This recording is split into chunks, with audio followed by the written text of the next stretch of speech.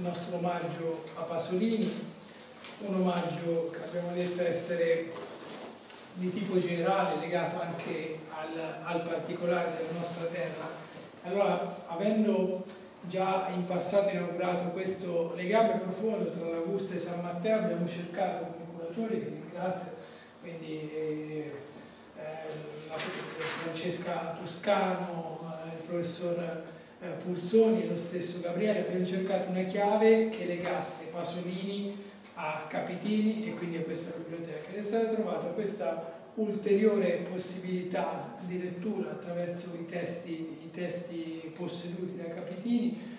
E quindi ciò che prima Gabriele spiegava, questo legame che, che va dal 47 al 68 attraverso i testi di, di Capitini e che poi si arricchisce in realtà di altre peculiarità come questa, che a me è piaciuta tantissimo, questa bella cartolina eh, proveniente da Matera della, delle riprese del Vangelo secondo Matteo. Quindi dire, siamo riusciti a, um, ulteriormente a legare le nostre biblioteche in una mostra che in realtà è unica e che poi a sua volta avrà un'ulteriore espansione attraverso il calendario di incontri che abbiamo programmato e che verrà inaugurato proprio mercoledì prossimo alle 17.30 alla sala dei notari attraverso la conferenza di Francesco Toscano che ringrazio fin da ora.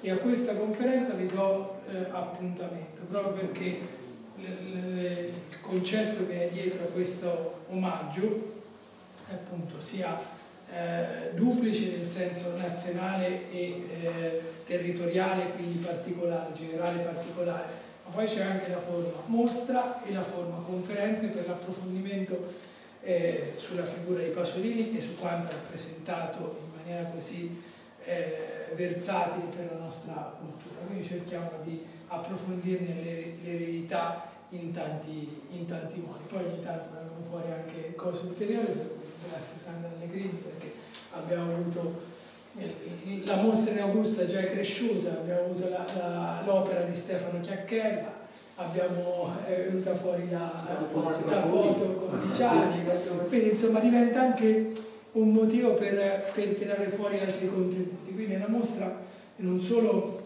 così suddivisa in due serie, ma una mostra che sono convinto che quando arriverà a, al suo termine sarà ancora più ricca di come è partita. Questa è una formula che a me piace e che diventa coinvolgente per la città.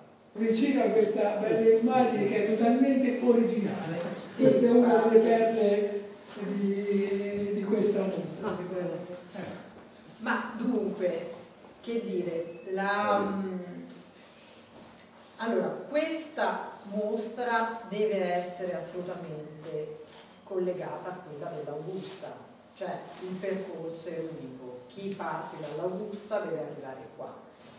Viceversa forse no, perché eh, il percorso che abbiamo scelto con, con Caro, perché comunque ci abbiamo ragionato su questa cosa, è, eh, è alla fine il percorso fondamentale per conoscere Pasolini, cioè le sue riflessioni sulla, eh, sulla contemporaneità, sulla, è la sua critica radicale al modello dello sviluppo.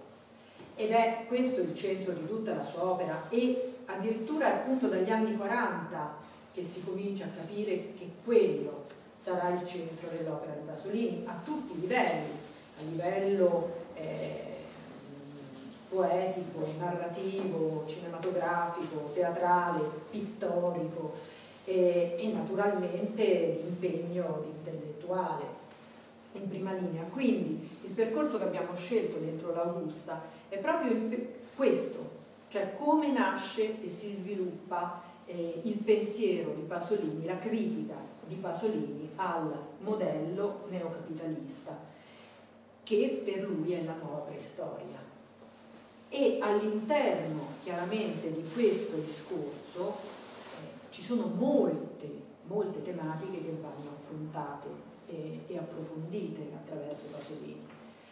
C'è la questione femminile, c'è la questione della pace e in questo chiaramente eh, Capitini è fratello di, di Pasolini.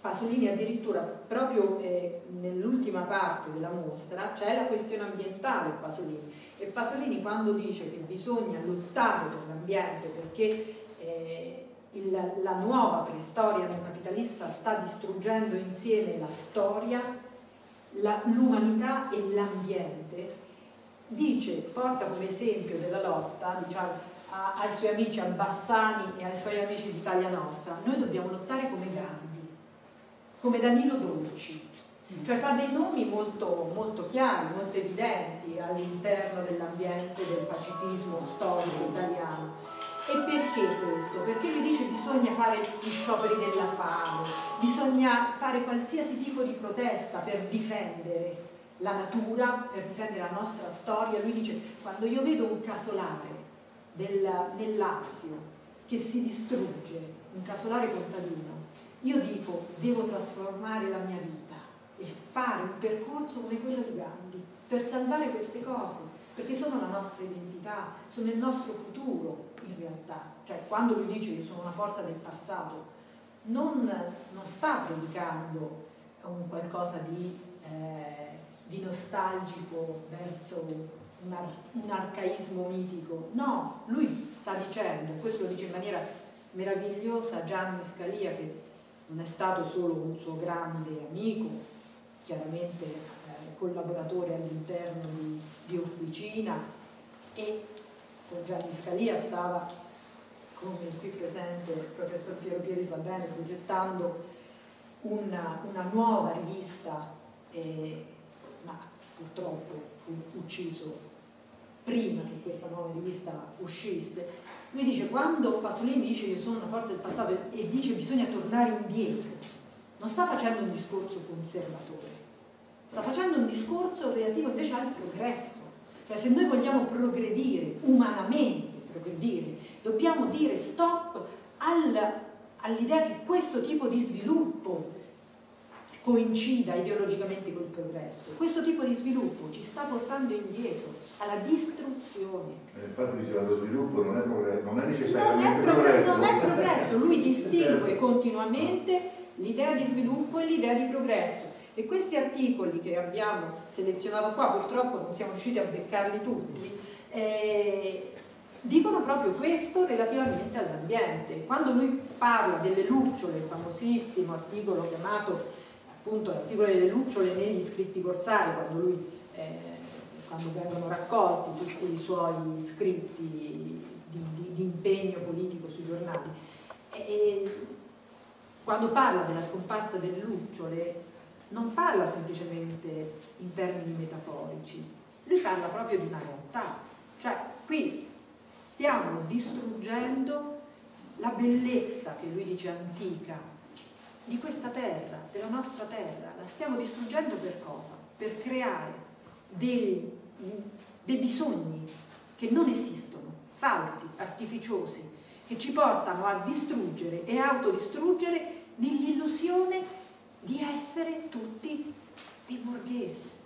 Alla fine è questo quello che noi vogliamo essere, ma questo ci rende brutti, ci rende brutti perché ci spinge appunto alla distruzione che diventa autodistruzione. In uno di questi articoli appunto mi dice proprio questo, cioè la, il, questo modello di sviluppo, la nuova preistoria, sta distruggendo il germe della storia stiamo precipitando verso l'autodistruzione e penso che mai come in questi giorni pensare a questo sia, sia veramente importante, mai come in questi giorni. E quindi questo percorso che abbiamo scelto per le mostre andrebbe molto meditato, perché non è semplicemente una celebrazione di un enorme intellettuale, di un enorme poeta, perché va detto innanzitutto che Pasolini è un poeta, lui stesso voleva che si dicesse questo di sé e molto giustamente Moravia nell'orazione funebre ai funerali di Pasolini l'ha detto in maniera chiara. Abbiamo perso innanzitutto un poeta, perché Pasolini era un poeta, in qualsiasi cosa facesse e anche quando parlava come intellettuale impegnato diceva guardate che quello che io dico lo dico anche come poeta, perché per me la realtà è sacra. Io non sono un credente, sono ateo, ma tutto ciò che io vedo è sacro, perché è unico, cioè noi tutti in questo momento siamo sacri, perché siamo unici, non abbiamo un'altra possibilità, se, non, se proprio l'appunto non siamo neanche credenti. No?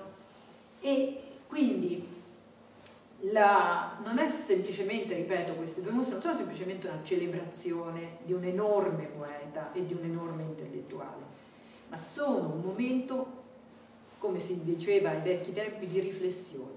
Davvero, cioè leggere Pasolini, leggendo esattamente quello che lui ha scritto, senza retropensieri, ci serve a capire perfettamente quello che noi stiamo vivendo, ma non perché lui fosse un, un profeta, come si vuol dire, perché era un lettore molto profondo, attento e acuto del suo tempo. E noi siamo l'estrema eh, evoluzione, purtroppo, di quello che lui già leggeva a partire, ripeto, dagli anni 40.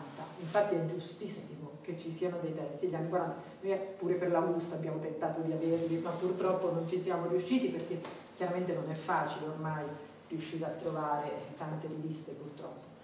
Però ripeto, ecco, sarebbe bello che chi visita queste mostre ne uscisse con un pensiero nuovo, come dopo aver letto Capitini, come dopo aver letto Penna, che non a caso sono i due massimi poeti dell'Umbria del Novecento, ma insieme sono veramente due enormi anche intellettuali in maniera diversissima eh, che hanno fatto della pace della giustizia reale, concreta, vitale, come avrebbe detto Pasolini, è il centro della loro esistenza.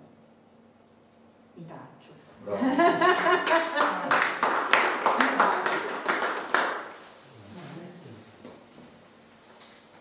Ah, diamo appuntamento al 16 sì. però l'idea del mio Pasolini mi piace molto perché possiamo rilanciare cioè le persone che magari hanno cose, curiosità nei cassetti, noi siamo ben lieti di ospitarle qui in agosto, eccetera. È un'occasione, credo, veramente, una mostra che, che a suo modo eh, sia anche partecipata, non solo come pubblico, ma come con eh, concorso alla mostra stessa. Ecco, quindi, eh, bisogna chiedere per esempio sempre di più anche alla Procivitate, perché lì ancora ci sono tanti testimoni proprio della presenza di Pasolini. E ormai secoli fa eh, per l'Accademia Propenziana ad Assisi eh, feci una conferenza su Pasolini ad Assisi e tra il pubblico c'era una monaca di un, neanche più mi ricordo, ma alla cittadella lo sanno, eh, di un monastero piccolissimo che sta vicino alla Profiditate e che si ricordava di Pasolini, quando appunto andava ad Assisi, che andava praticamente a meditare dentro la chiesetta di questo convento. Lei si ricordava di Pasolini, si metteva lì seduto in chiesa, in silenzio, da solo, completamente, stava lì per un po' e poi se ne andava. Quindi ci sono delle testimonianze bellissime su Pasolini, veramente bellissime da raccogliere in, in Umbria, perché lui era innamoratissimo dell'Umbria. Per, per, lui Penna era il più grande poeta del Novecento e non si discuteva appunto, cioè non se ne poteva neanche discutere di questa cosa. Aveva due santi, su due santi lui avrebbe voluto fare un film, che poi non è riuscito a fare. Uno era San Paolo, ma l'altro era San Francesco e comunque Uccellacci e Uccellini è un modo, in qualche modo, di parlare di Francesco d'Assisi.